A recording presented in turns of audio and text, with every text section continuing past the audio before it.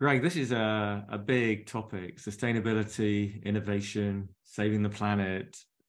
Can you, for our listeners, bring it all together in a cipher vision, a key takeaway?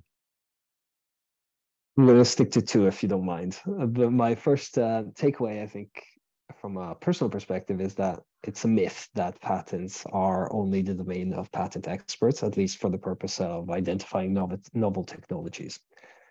The second one for me is the power of combining data sets, even simple and publicly available ones. Patents and patent data are definitely crucial and the starting point to scout for innovation, but to fully harness their potential at scale, um, they need to be combined with other data sets, including sustainability criteria.